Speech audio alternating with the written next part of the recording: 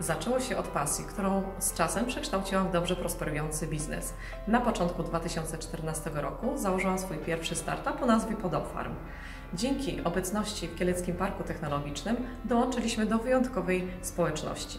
Co daje nam obecność w Kieleckim Parku Technologicznym? Między innymi korzystamy z wynajmu powierzchni do prowadzonej działalności na preferencyjnych warunkach de minimis, korzystamy z szeregu szkoleń, jakie park nam oferuje, jak również z działu marketingu, szczególnie z jednostki Lab Design, która stworzyła nasz pierwszy wizerunkowy katalog, z którym mieliśmy okazję zaprezentować się na targach w kraju, jak i za granicą. Czego życzę Kieleckiemu Parkowi Technologicznemu na kolejne 10 lat? Zapewne tak dynamicznego rozwoju jak do tej pory, bo dzięki temu wraz z parkiem rozwijamy się my lokatorzy.